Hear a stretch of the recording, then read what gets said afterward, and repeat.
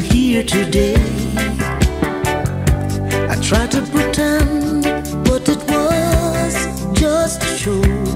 Now I, I just can't hide. I had to swallow my.